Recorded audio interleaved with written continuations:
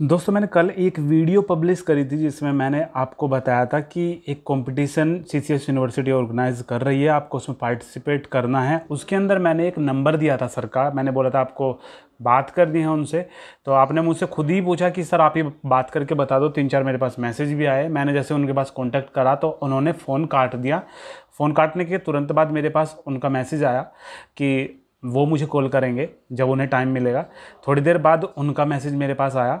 उसमें लिखा हुआ था कि अब आप मुझे कॉल कर सकते हो। अगर आप ये मैसेज देख रहे हो तो मैंने उन्हें कॉल किया तो उन्होंने मुझे बताया कि जो ये कंपटीशन हो रहा है, उसमें बस रेगुलर वालों के लिए ऑर्गेनाइज करा गया है।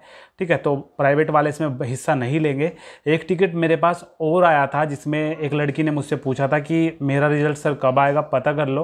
तो मैंने हेल्प डेस्क पे पूछा था तो वहाँ से जो जनरेट हो गया टिकट वहाँ से जब कोई रिप्लाई आएगा, मैं आपको बताऊँगा रिज़ल्ट का, ठीक है, कब तक आएगा रिज़ल्ट का। जैसे ही वहाँ से कोई रिप्लाई आएगा, मैं आपको तुरंत इन्फॉर्म करूँगा।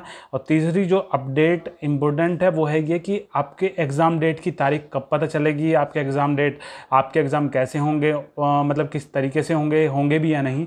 तो एग्ज़ाम की अभी कोई भी ऐसी जानकारी नहीं है। एग्ज़ाम की जानकारी ऐसा है कि तीन मई को मोदी जी बता देंगे कि लॉकडाउन बढ़ेगा या नहीं। अगर लॉकडाउन बढ़ता है तो फिर ऑनलाइन स्टडी पे फोकस किया जाएगा। आप आ, मतलब अगर फ़र्स्ट ईयर में हो बीए फ़र्स्ट ईयर तो बीए सेकंड ईयर का आपको मैटर प्रोवाइड करा दिया जाएगा व्हाट्सएप के थ्रू या फिर ईमेल आईडी के थ्रू जैसे भी कोई ऑफिशियल नोटिस आएगा मैं आपको ज़रूर बताऊँगा। ठीक है? तो बाकी चैनल का कम्युनिटी टैब चेक करते रहें। उसमें मैं टाइम टू टाइम आपको अपडेट करता रहूँगा। जैसे कि अभी सी का नोटिस आया था वो भी मैंने डाला। जो दैनिक जागरण ने कल बोला था मैंने वो भी डाला। तो टोटल जितनी अपडेट्स हैं आपको सारी मिलती रहेंगी। अगर आपका मान लो मैं सीसीएस से बता रहा हूँ और आपका कोई भी है, जैसे मान लो एसएससी है एयरफोर्स वगैरह है, कोई सा भी टॉपिक है तो मुझे कमेंट करना, मैं उसका रिप्लाई आपको कर दूँगा, ठीक है? तो चलो सही है, बस बाकी यही मुझे बताना था कि ये ये मेरा जो टिकट है, ये मैंने जनरेट करा था उसी के लिए रिगार्डिंग जिसमें मैंने पूछा था कि आपका जो कंपटीशन है, वो इसका वहाँ से रिप्लाई तो नहीं आया, लेकिन मैंने सर से कॉल करके पूछ लिया कॉल जैसे रिसीव नहीं करते तो उनका फिर मैसेज आ गया था मेरे पास, ठीक है? बाकी कोई भी दिक्कत हो, कुछ किसी भी तरीके की मुझे कमेंट करो, मैं रिप्लाई ज़रूर करूँगा उसका।